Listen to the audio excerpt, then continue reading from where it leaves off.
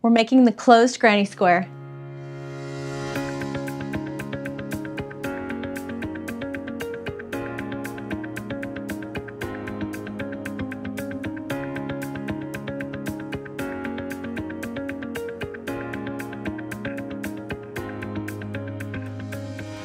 The closed granny square is a great alternative if you are wanting to make a granny square but do something different than what you've been doing.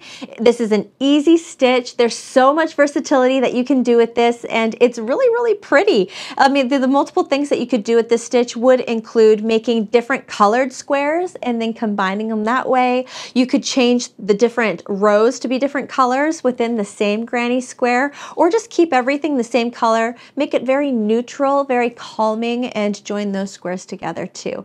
This stitch, I couldn't decide if I wanted to label it an absolute beginner friendly pattern or an advanced beginner friendly pattern based on placement alone. I mean, all we are really working in this pattern are double crochet stitches and chains. However, when you're an absolute beginner crocheter, I kind of want you to focus on how to make the actual stitch and getting comfortable making actual stitches, not so much placement. However, when I was making this, I I could absolutely see an absolute beginner crocheter playing with this and getting it and feeling really good about making this project. So I'm gonna go ahead and say, if you're an absolute beginner crocheter and you wanna give this a try, go for it. If it's feeling a little hard, just know that you might need a little practice. The terminology I'm using for this particular video is US terminology, which means every time I refer to the name of a stitch, it's being referred to in US terms. And when it comes to the dimensions of this square in particular, this is a 7 inch by 7 inch square, and you can change that however you want. You can add more rows or more rounds to your square and make it as big as you want, or you could take rounds out and make it as small as you want and have fun with that as well. Now, when it comes to this particular pattern, I think any size yarn would work. Even a textured yarn I think would be a lot of fun. So that's what's great about this particular project is you can have fun with whatever yarn you may have in your stash or you think it's pretty and you want to play with. and that's really cool. So I am, in particular, I am working with a size 4 weight worsted medium Aran 1012 ply or 8 WPI size yarn. Most specifically, I'm working with loops and threads impeccable yarn. I believe this is the color linen, but it doesn't really matter. Uh, crochet hook that I am using is an H8 or 5 millimeter crochet hook because I love using this size crochet hook with the size 4 weight yarn. Uh, and the only, only other things that you may find that you need are a pair of scissors, obviously, and a yarn needle or tapestry needle to help you weave in the ends at the end of your project. That's it. That's all we need. And then, of course, however many squares you want to make. All right, let's go ahead and get started making the actual closed granny square. All right, so we are going to start with whatever yarn that you chose for this project and your crochet hook, starting with a long enough tail for us to weave in our ends at the end of the project. Go ahead and create your slip knot. Attach your crochet hook. Now for this particular granny square, we are going to begin by chaining four and then slip stitching to close that ring. So chain one, two, three, four, and then slip stitch into the very first chain, yarn over, pull through, and then keep pulling through. And that creates a circle or a ring that we are going to work into. For round one, we will begin by chaining three. One, two, three. That chain three does count as our very first double crochet stitch. Next, you're going to make three double crochet stitches inside that circle. One, two, three, chain two, one, two, and then make four double crochet stitches inside that circle. One,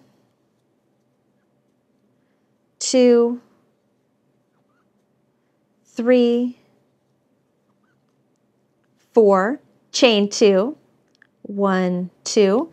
Make four more double crochet stitches inside that circle. One, two, three, four. I now have three different sections. If you count the sections between the chain twos, I have three sections here. Need one more. So chain two and do one more group of four double crochet stitches. One, two, three, four, and then chain two, one, two. Once you have four groups, then we will just slip stitch into the top of the third chain. So find your chains, one, two, three, slip stitch into the top of that third chain to close round one. And this is roughly what you should be looking at right now. Let's go ahead and start round two. And we say round two because we are working around.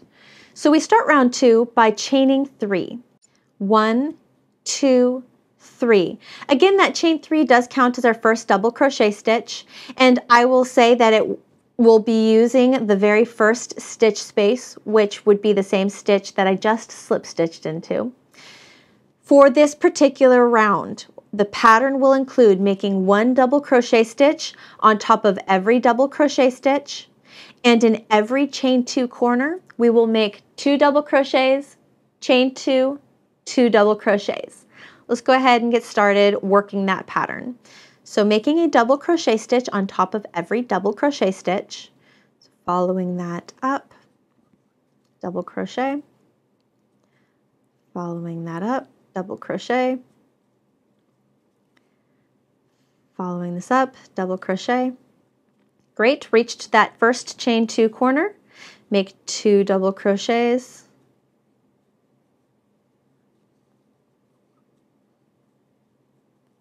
chain two, two double crochets.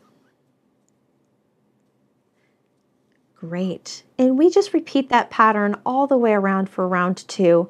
I will go ahead and work a few more stitches with you, but then I will go ahead and meet you at the end of round two where we will close round two and move on to round three.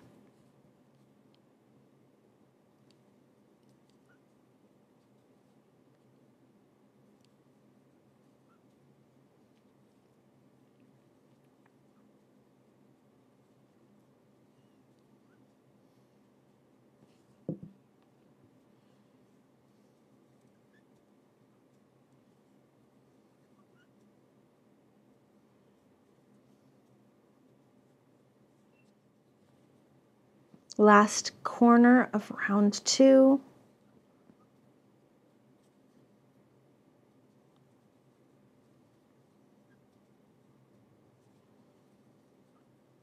Great. And then we close round two by slip stitching into the top or third chain that we started with. And this is roughly what we will be looking at. Great, let's move on to round three. For round three, we start by chaining three. One, two, three. Great. Same thing, work one double crochet stitch on top of every double crochet stitch and in every corner make two double crochet, chain two, two double crochet. Go ahead and work this pattern all the way around for round three and I'll meet you at the end of round three to show you how it's a little bit different and how we will move on.